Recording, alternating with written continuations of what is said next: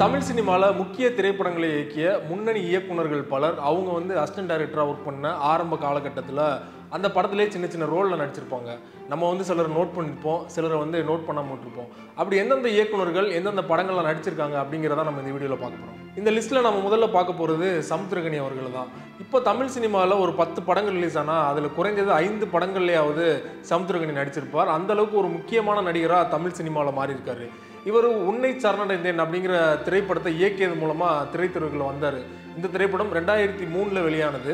ஆனால் அதற்கு முன்னாடியே இவர் ரமணி விசஸ் ரமணி அப்படிங்கிற சீரியலில் நடித்தார் ஆனால் யாருக்குமே தெரியாத ஒரு தகவல் என்னென்னா ரெண்டாயிரத்தி ஒன்றில் பாலச்சந்தர் அவர்களுடைய நூறாவது திரைப்படமான பார்த்தாலே பரவசம். அந்த திரைப்படத்தில் ஒரு சின்ன கேரக்டர் நடிச்சிருக்காரு. ஏன்னா சமுத்திரகனி ஒரு நடிகராக நமக்கு அறிமுகமானது சுப்பிரமணியபுரம் திரைப்படத்தில் தான். ஆனால் அதற்கு முன்னாடியே ரெண்டாயிரத்தி ஒன்றில் பார்த்தாலே பரவசம் திரைப்படத்தில் விவேக் அவர்களோட ஒரு சின்ன காம்பினேஷன் நடிச்சிருப்பாரு. இந்த லிஸ்ட்டில் நம்ம அடுத்ததாக பார்க்க போகிறது இயக்குனர் சுசீந்திரன் அவர்களை பற்றி தான். இயக்குனர் சுசீந்திரன் அவர்கள் முதன் முதலாக இயக்கிய திரைப்படம் வெண்ணிலா கபடி குழு. அதனைத் தொடர்ந்து நான் மகாணல்ல பாண்டிய நாடு அழகர் சாமியின் குதிரை போன்ற உன்னதமான படைப்புகளை தொடர்ச்சியாக தமிழ் சினிமாவுக்கு வழங்கிட்டு வந்திருக்காரு. இவர் ஆரம்ப காலகட்டத்தில் இயக்குனர் எழில் அவர்களிடம் உதவி இயக்குனராக வேலை பார்த்தாரு.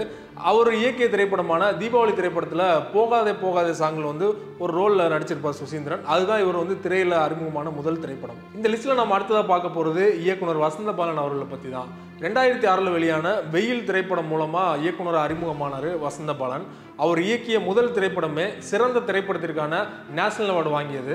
இவர் இயக்குனர் சங்கர் அவர்கள்ட்ட உதவி இயக்குனராக வேலை பார்த்தது எல்லோருக்கும் தெரிஞ்சது தான் ஏன் இப்போது இயக்குனர் சங்கர் இயக்கிட்டு இருக்க இந்தியன் டூ திரைப்படத்தில் முக்கியமான சில காட்சிகளை இவர் தான் இயக்குறாரு அப்படிங்கிற ஒரு சர்ச்சையும் எழுந்தது.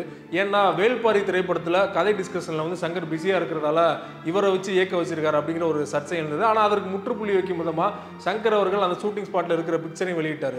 இது ஒரு புறம் இருந்தாலும் இயக்குனர் வசந்தபாலன் அவர்கள் சங்கர் அவர்கள் இயக்கிய ஒரு திரைப்படத்தில் ஒரு கதாபாத்திரத்தில் நடிச்சிருக்காரு. அது என்ன திரைப்படம்னா ஜீன்ஸ் திரைப்படம் தான். அந்த திரைப்படத்தில் நாசர் அவர்களும் ராதிகா அவர்களும் வச்சிருக்கிற ஹோட்டலில் ஒரு சின்ன கேரக்டரில் இவர் வரதா ஒரு சீன் எடுத்திருப்பாங்க.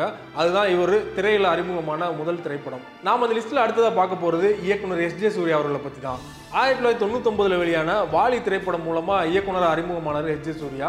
இந்த திரைப்படத்தில் கதாநாயகனா இரட்டை வேடத்தில் அஜித்குமார் அவர்கள் நடிச்சிருப்பார். இவர் அடுத்ததாக இயக்கிய குசி திரைப்படத்தில் தான் முதல் முறையாக எல்லோருக்கும் தெரியும் அவர் ஒரு சின்ன கேரக்டர் நடிச்சது. ஆனால் எல்லோருக்கும் தெரியாத விஷயம் என்னென்னா கிழக்கு சீமையில திரைப்படம் தான் இவர் நடிகராக ஸ்க்ரீனில் தலை காட்டிய முதல் திரைப்படம். இந்த லிஸ்ட்டில் நம்ம அடுத்ததாக பார்க்க போகிறது இயக்குனர் பா ரஞ்சித் அவர்களை பற்றி தான் தமிழ் சினிமாவோட முன்னணி இயக்குநர்களில் ஒருவராக இருக்கிறவர் பா ரஞ்சித். இவர் ரெண்டாயிரத்தி பன்னெண்டில் வெளியான அட்டக்கத்தி திரைப்படம் மூலமாக இயக்குனர் அறிமுகமானார். இவர் இயக்குனர் வெங்கட் பிரபு அவர்கள்ட்ட தான் உதவி இயக்குனர் வேலை பார்த்தாரு. வெங்கட் பிரபு அவர்கள் இயக்கிய முதல் திரைப்படமான சென்னை டுவெண்ட்டி எயிட் திரைப்படத்தில் ஒரு பவுலராக ஒரு சின்ன கதாபாத்திரத்தில் இவர் நடிச்சிருப்பார். அதான் அவர் ஸ்க்ரீனில் தலை காட்டினிய முதல் திரைப்படம். இந்த லிஸ்ட்டில் நம்ம அடுத்ததாக பார்க்க போகிறது இயக்குனர் மாரி செல்வராஜ் அவர்களை பற்றி தான். இவர் இயக்குனராக அறிமுகமான முதல் திரைப்படம் பரியேறும் பெருமாள். இவர் இயக்குனர் ராம் அவர்கள்ட்ட தான் உதவி இயக்குனராக நிறைய படங்களில் ஒர்க் பண்ணியிருக்காரு. இயக்குனர் ராம் இயக்கிய கற்று தமிழ் திரைப்படத்தில் ஆரம்ப காட்சியில் ஜீவா கல்லூரியில் சேர்ற மாதிரி ஒரு சீன் வரும். அந்த சீனில் மாரி செல்வராஜ் அவர்களும் நடிச்சிருப்பார். இதுதான் அவர் ஸ்க்ரீனில் தலைக்காட்டிய முதல் திரைப்படம். இந்த லிஸ்ட்டில் நம்ம அடுத்ததாக பார்க்க போகிறது இயக்குனர் கௌதம் வாசுதேவ மேனன் அவர்களை பற்றி தான் இவர் இயக்குனர் அறிமுகமான முதல் திரைப்படம் மின்னலே.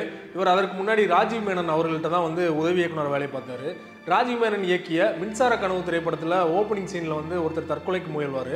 அந்த சீனில் தான் கௌதம் வாசுதேவ் மேனன் அவர்களும் ஒரு சின்ன கதாபாத்திரத்தில் நடிச்சிருப்பார். இவர் நடிகராக தலை காட்டிய முதல் திரைப்படம் மின்சார கனவு தான். இந்த லிஸ்ட்டில் நம்ம கடைசியாக பார்க்க போகிறது இயக்குனர் மிஸ்கின் அவர்களை பற்றி தான் இயக்குனர் மிஸ்கின் இயக்குனர் அறிமுகமான முதல் திரைப்படம் சித்திரம் பேஸ்தடி அதற்கு முன்னாடி அவர் வின்சென்ட் செல்வா அவர்கள்ட்ட தான் உதவி இயக்குனர் வேலை பார்த்தாரு. அவர் இயக்கிய யூத் திரைப்படத்தில் அவர் ஒரு சின்ன கதாபாத்திரத்தில் நடிச்சிருப்பாரு. நம்ம நிறைய இயக்குனர்கள் லிஸ்ட்டை பார்த்தோம் இல்லையா? இந்த லிஸ்ட்டில் வந்து இயக்குனர் அறிமுகமானவங்க ஒரு சின்ன கதாபாத்திரத்தில் நடித்து இப்போ நிறைய படங்களில் முக்கியமான கதாபாத்திரத்தில் தொடர்ச்சியாக நடிச்சிட்டு வராங்க. ஏன் விஜய் அவர்கள் நடிச்சிட்டு இருக்க லியோ திரைப்படத்தில் நம்ம முன்னாடி குறிப்பிட்ட கௌதம் வாஸ்தவ் மேனன் ஆகட்டும் மிஸ்கின் அவர்களாகட்டும் முக்கியமான கதாபாத்திரத்தில் நடிச்சிட்டு இருக்காங்க அதே போல் எஸ் ஜே சூர்யாவும் படங்கள் இயக்குவதை காட்டிலும் தொடர்ச்சியாக நிறைய படங்கள் நடிச்சிட்டு வராரு. சமுத்திரகனி அவர்களும் அதே போல தான். நிறைய படங்கள் இயக்குவதை காட்டிலும் நடிகராக தான் தொடர்ச்சியாக நடிச்சிட்டு வராரு. நாம அந்த லிஸ்ட்டில் பார்க்காத மற்ற இயக்குனர்கள் அவர்களும் நடிப்பாங்களா அப்படிங்கிறத நம்ம பொறுத்திருந்து பார்க்கலாம்.